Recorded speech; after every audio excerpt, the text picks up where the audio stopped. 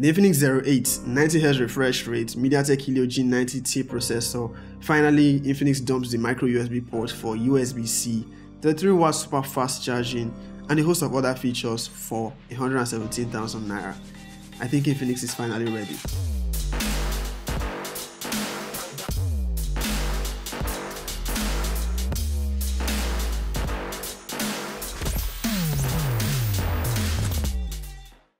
What up guys, Izzi here and welcome to my channel. So Infinix has revived their Zero series. We previously had the Infinix Zero 6 and now we have the Zero 8 and with this device, Infinix has improved everything except of course, the bloatware part.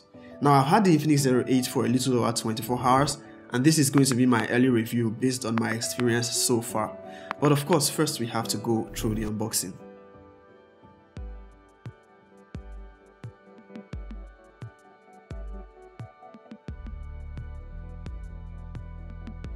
The retail box is two-tone silver and grey, having the same pattern you are going to find on the device. Right within the box, the first thing you are going to find is the device itself. This is the silver diamond color option. There is also the black diamond and green diamond options. Next up is a small envelope which highlights the item you would find in the box. The envelope also contains some Infinix stickers, X-Club card and a film screen protector and also your SIM ejector tool included. Next up is a transparent protective casing.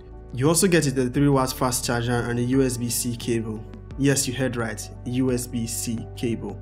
And finally, a nicely designed wired earphones. I wonder how they sound.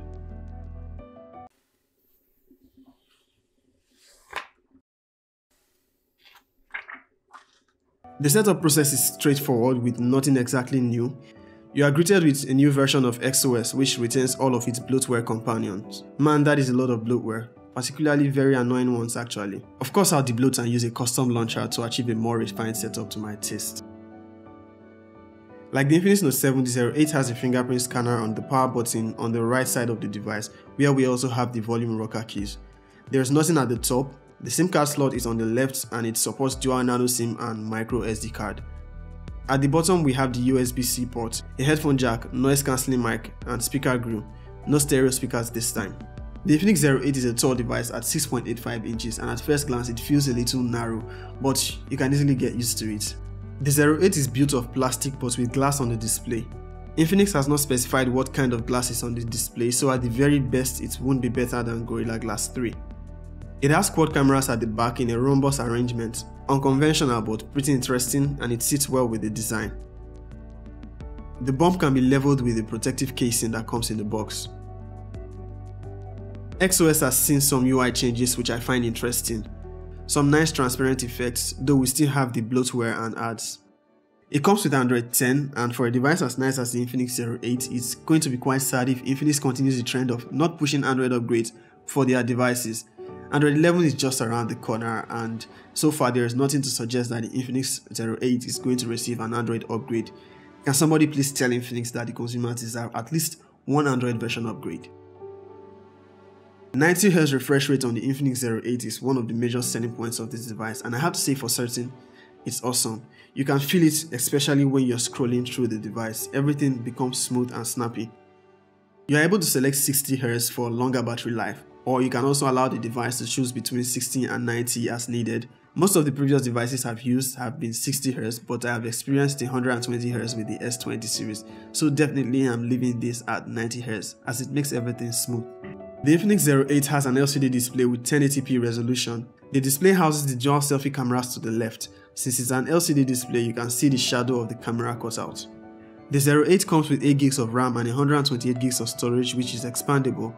It also comes with a MediaTek Helio G90T processor which is a gaming focused processor and very close to the Snapdragon 720G.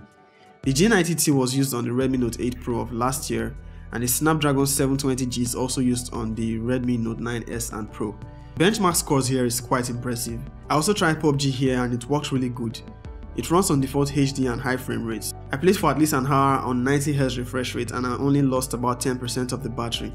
Over time we are going to see just how long the battery can hold up. In another review I'm going to be testing more games to see just how well this device fares so make sure you are subscribed and you have notifications turned on so you don't miss when I post that video. The 33 watt super fast charger powers up this device from 0 to 60 in 30 minutes and in about 70 minutes you get a full charge.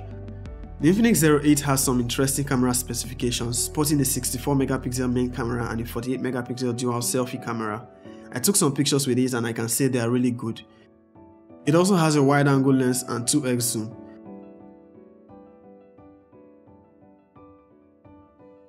The selfie camera does decent but the background is sometimes overexposed. 4K video recording from both the front and the rear cameras of the Infinix Zero 8. It can also do video stabilization but that is only at 1080p.